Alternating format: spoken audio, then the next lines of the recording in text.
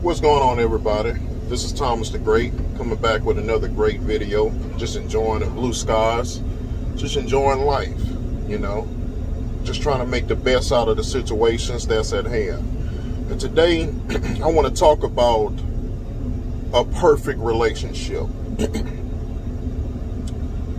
Everybody look towards other people as stepping stones and steps to make progress in their relationship. It's almost like a diet. You have all these different fad diets, crash diets that may or may not work depending on a person. Not one diet is going to work for everybody.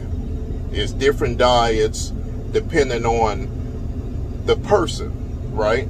And depending on a person, they choose a diet that works for them. What I've learned in relationships is that just because one thing worked for one group of people may not work for another group of people or another group of people, right?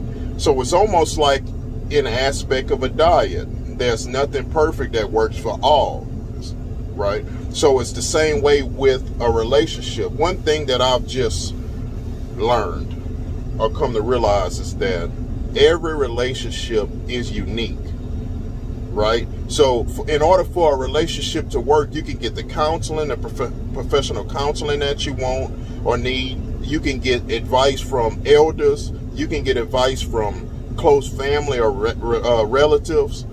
Um, if they're going through something or been through something uh, and whatever worked for them you can take the advice from them but that don't mean that it'll work for you right? Every relationship is unique. There's no other person in this world like you. There's no other person in this world like your spouse or your other half or your new potential, right? So you have to get to know that person for that person before you can take the advice of another person. Because what we're doing is casting the steps of another person onto the person that we're with. Knowing that every person is unique in their own way. You can't use the advice or the steps of another unique person, right, to work for the other person that you are trying to live a life with or a potential with. It doesn't work that way. And I think sometimes we we lose hope and faith in the people that we're with because we are comparing ourselves or or or our other halves or potentials to other people that we see or we're around. We're unique. There's no other person out there like you or them.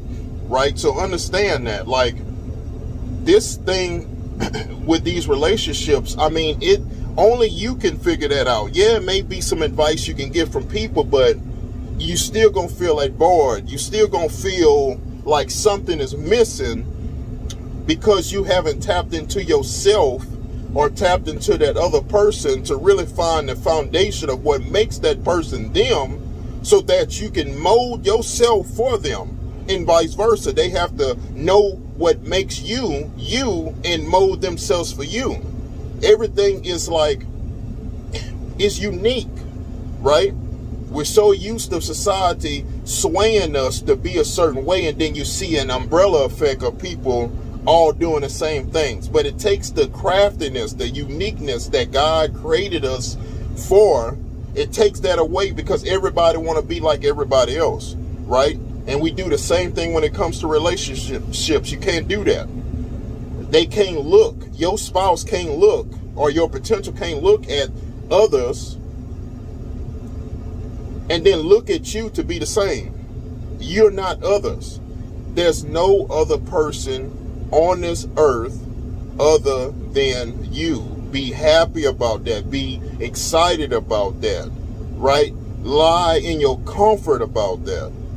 Don't always look at the flaws and the bad sides of you. Just lie on the comfort knowing that there'll never be another you even after you're gone. Like it's it's only one of you. It's only one of them that you're trying to have a future with. So get to know that person the way that person is. Give your all to that person.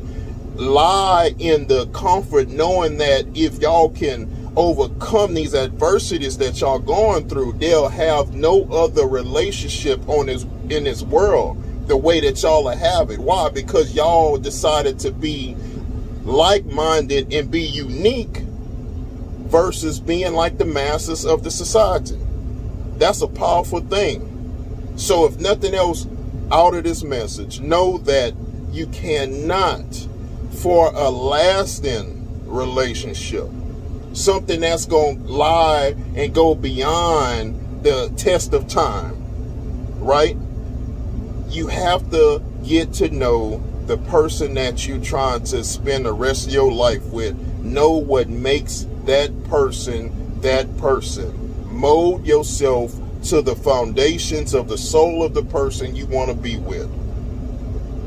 Let them do the same by your openness, and you'll have what everybody else in this world is looking for, which is pure joy and affection lying in the soul of the person that they're comfortable with that'll last forever and through the test of times.